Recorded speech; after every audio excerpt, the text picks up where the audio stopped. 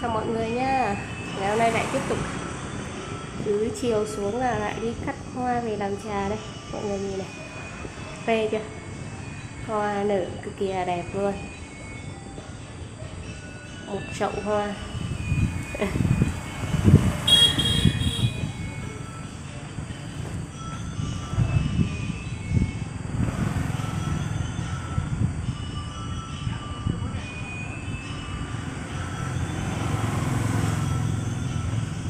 ngày nào cũng cắt. Hàng rổ hoa thế này này.